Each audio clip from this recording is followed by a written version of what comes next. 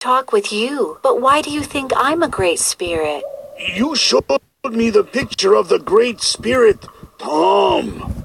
So I figured that you too must be a Great Spirit. Okay, I get it. Tom is a great spirit.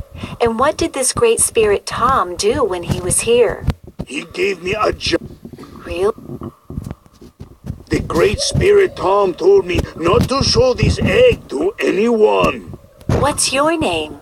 My name is Ugu. Nice to meet you, Ugu. My Ugu. And the great. So, I may live in a cave, but you can't fool me. The Great Spirit Tom could make fire. So if you can make a fire, then I'll believe that you're a Great Spirit. Hmm. do you have any matches? What are matches? They're small sticks that great spirits use to make fire. The Great Spirit Tom didn't use matches. Okay then, I'll give it a try. For starters, I'll need to collect some wood.